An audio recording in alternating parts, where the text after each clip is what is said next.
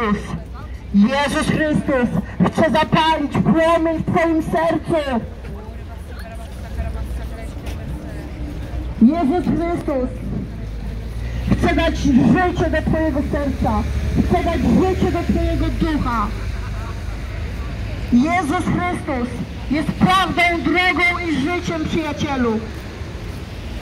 Religia zrobiła z Jezusa fałszywy obraz.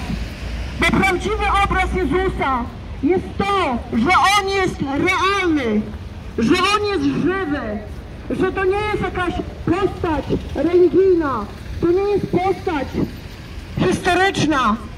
On jest realnym, żywym Bogiem, dostępnym dla każdego człowieka. Ale to, co Cię oddziela od żywego Jezusa Chrystusa w tym momencie, to jest to, że Go nie poznałeś, przyjacielu, osobiście. Jestem tutaj, żeby Ci powiedzieć, że ja kiedyś szukałam Boga. Ja kiedyś powiedziałam do Boga, którego nie znałam, którego nie widziałam.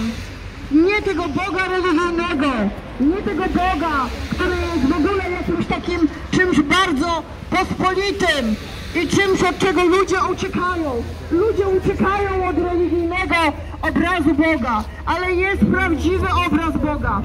Ten obraz jest taki, że Jezus Chrystus to żywy, realny, prawdziwy Bóg. Prawdziwy Bóg. I On mnie tutaj postawił dzisiaj, przyjacielu, abym Ci powiedziała, że Jezus Chrystus żyje. Jezus Chrystus żyje. Że to nie jest jakaś historyjka. To nie jest coś, o czym pospolicie tylko się słyszało. On jest realny, prawdziwy. Przyjacielu, chcę Ci powiedzieć, że to, co Ciebie oddziela od osobistego poznania żywego Jezusa Chrystusa, jest Twoja decyzja.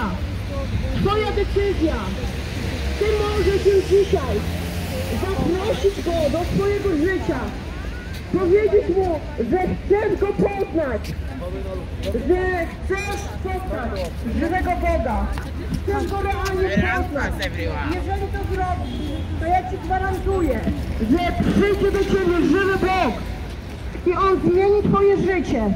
On da Ci pokój w Twoim sercu. On realnie zmieni Twoje życie. Tak jak ponad 10 lat temu On zmienił moje życie. Przyjaciele, ja nie byłam jakąś osobą, która potrzebowała jakiejś podpory życiowej.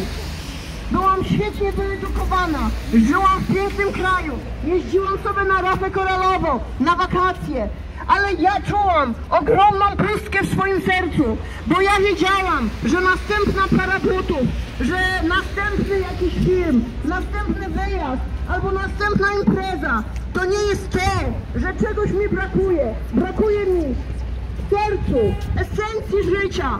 Brakuje mi sensu życia.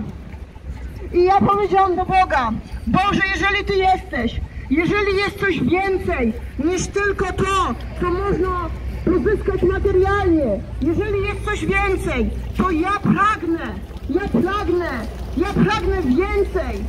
I przyjaciele, jestem tutaj, żeby Wam powiedzieć, że jest więcej, jest skarb, jest skarb, a ten skarb nazywa się Jezus Chrystus. I niestety ten obraz jest bardzo pospolity w tym kraju.